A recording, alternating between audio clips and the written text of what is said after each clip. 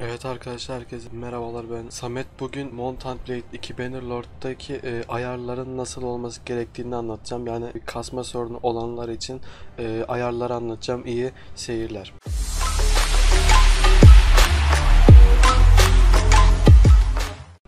Evet arkadaşlar ilk önce e, ayarlar kısmına geliyoruz. Eğer sizde de kasma sorunu varsa bu şekilde biraz olsun e, azaltabilirsiniz. İlk önce görüntüye geliyoruz. Burada görüntü arkadaşlar bu görüntü modu tam ekran olması lazım ki hani e, tam performans alın. Bunu tam tam ekran alıyorsunuz.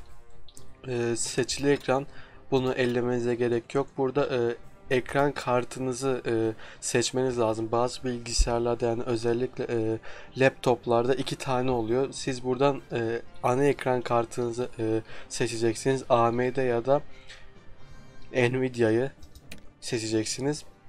Ekran çözünürlüğünü arkadaşlar buradan aşağı iniyorsunuz ve şu en aşağıdaki hangisi ise onu e, seçiyorsunuz. Bu en aşağıdaki olacak.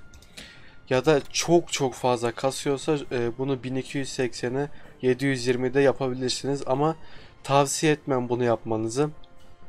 Eğer hani çok aşırı kasma sorunu yoksa bu e, e, en aşağıdaki olacak ve e, çözünürlük oranı 100 olacak. E, kare sınırını 200 yapabilirsiniz. Zaten bunu ellemenize gerek yok. Eğer hafiften de olsa bir kasma sorunu varsa zaten e, 200 FPS'yi çok görmez. Bunu e, 200 yapıyorsunuz. E, dikey yenileme var burada. Bu eğer tam ya da e, yarımsa bunu yok yapıyorsunuz. Yani bu kapalı olacak arkadaşlar. E, burada keskinleştirme oranı var. E, bu keskinleştirme oranı da en aşağıda olacak. Yani böyle olacak. Sıfır olacak. E, bu da ekran kartınıza yük yük bindirir. O yüzden bu da en aşağıda olacak arkadaşlar. Bunu yaptıktan sonra performansa geliyorsunuz. Performansta e, savaş büyüklüğü sizde 500 falan olması lazım. Büyük ihtimal. Bunu en aşağı indiriyorsunuz. Belki biraz az kişi olur e, savaşlarda ama yani e, kasma sorunu gider en azından. Savaş büyüklüğü 200 ya da eğer çok fazla kasma yoksa bunu 400-500'de e, yapabilirsiniz. Ben 1000'de kullanıyorum ama eğer sizde kasma sorunu varsa bunu e, 200'e indiriyorsunuz. Şimdi burada genel kalite var. Çok düşük, düşük, orta, e, yüksek ve çok yüksek diye. Şimdi çok çok düşükten başlayın ya da e, çok e, yüksekten başlayın. Mesela bunda kasıyorsa bunu düşürün. Yüksek yapın. Bunda da kasıyorsa orta yapın. Yani böyle kademe kademe düşün. Hangisinde e, kasma gidiyorsa onu kullanın. Mesela çok düşük yapalım. E, bunu e, iki çizgiseli alabilirsiniz. Daha da e, az kasması için.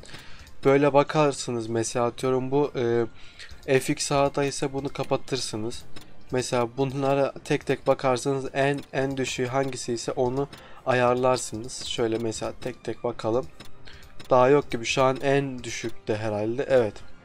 Ve eğer bunlarda da tik varsa arkadaşlar şu şekilde bu bu bu tikleri de kaldırıyorsunuz şöyle. Yani e, siz burada kendi bilgisayarınıza göre e, ayarlayacaksınız. Bunu en en yüksekten başlatın. Kasıyorsa teker teker düşün. Eğer eğer bu şekilde bile kasıyorsa bu görüntüden şu e, çözünürlüğü düşürün. 1000 1280 e, 720 falan yapabilirsiniz. Bunları yaptıktan sonra ben şu ayarlarımı eski haline getireyim. Bunları yaptıktan sonra arkadaşlar şöyle bakalım. Evet benim ayarlarım bu şekilde. Ses ses kısmında e, siz e, sesleri istediğiniz gibi e, ayarlayabilirsiniz. Bunun performansa herhangi bir etkisi olmaz. Oynanış kısmında da oyunla ilgili ayarları ayarlayabilirsiniz. Mesela e, saldırı yönünü gösteri ben kapattım. Bu kenardan oklar falan çıkıyor ya. Ben onları kapattım. Birinci şahıs görüş alanı mesela. Bunu da ne kadar e, düşürürseniz o kadar e, kasma sorunuz azalır. Ben bunu biraz arttırayım. Üçüncü kişi kamera mesafesi. Bir bunu ellemenize gerek yok. Hasar alma görselini etkinleştir. Mesela bunu da kapatabilirsiniz. Ama hasar aldığın zaman çok e, a, e, anlamayabilirsiniz. Sonra fare ve klavyeden de tuş e, ayarlarını yapabilirsiniz. Yani bu şekilde ayarları yapabilirsiniz arkadaşlar. Ben biraz sesi açayım. Ee, abone olup yorum ve like atmayı unutmayın arkadaşlar. Hoşçakalın.